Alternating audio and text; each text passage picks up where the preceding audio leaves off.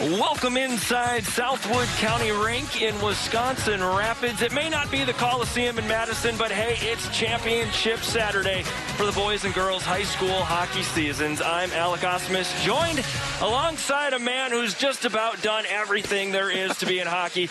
Bob, look, Bob, uh, a great one-two matchup here to kick off the Division II State Hockey Championship. And a great, uh, you know, confluence of styles here. You've got a puck sent up the side wall. That's Dane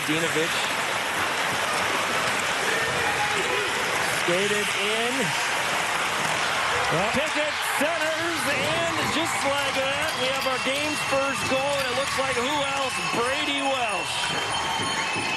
Looking for a power play opportunity. Welsh back up top to McLaughlin. Puck bounce around in front, and there you go. There's our first power play goal of the game, and it's good to give the Ledgers a two-goal lead.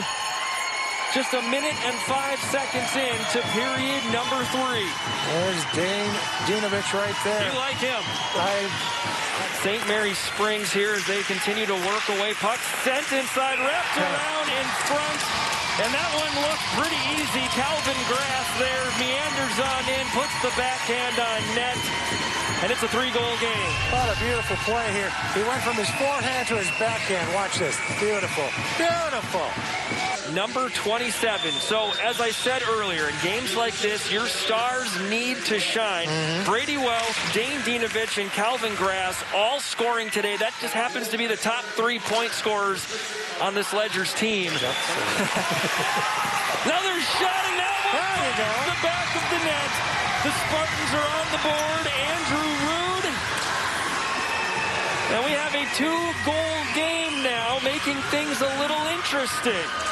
The puck landing in the right spot at the right time. Andrew Rude, uh, not a, only one goal during the regular season. Not a huge goal scorer, but coming up at a big time with a big play.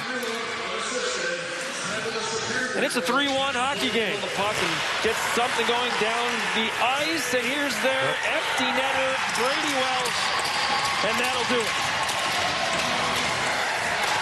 Knocked away and let the celebration begin. The Ledgers have done it once again. Division two state champions. And they did it with a lot speed, a lot of agility and a lot of talent and a well-coached team. Congratulations.